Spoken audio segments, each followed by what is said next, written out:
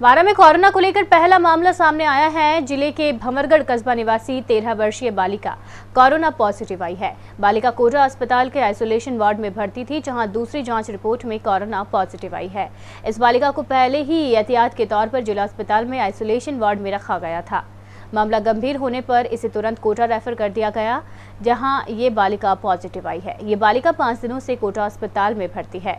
CMHO Sampat राज नागर ने बताया है कि बालिका कुछ दिनों पूर्व पड़ोसी प्रदेश के मध्य प्रदेश के श्योपुर ज़िले से भंवरगढ़ आई थी।